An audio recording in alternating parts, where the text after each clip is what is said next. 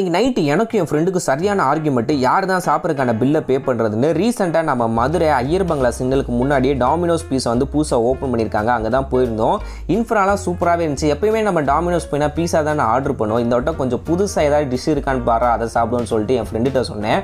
அவன் தான் பார்த்தீங்கன்னா இந்த பிரெட்டு பரோட்டா அப்படின்ற ரெண்டு ஐட்டத்தை இன்ட்ரடியூஸ் பண்ணி வச்சான். டேஸ்ட் வைஸ் பார்க்கும்போது சூப்பராகவே இருந்துச்சு. பர்சனலாக பார்த்தீங்கன்னா எனக்கு இந்த பிரெட்டுக்குள்ளே சீஸையும் சிக்கனை வந்து ஸ்லைஸ் பண்ணி ஸ்டஃப் பண்ணி வச்சுருந்தாங்க. இதோட டேஸ்ட் பார்த்திங்கன்னா சூப்பராகவே இருந்துச்சு சூடாக சாப்பிட்றதுக்கு. அடுத்து அந்த பரோட்டான்னு சொல்லி ஒரு இது வாங்கினோம்.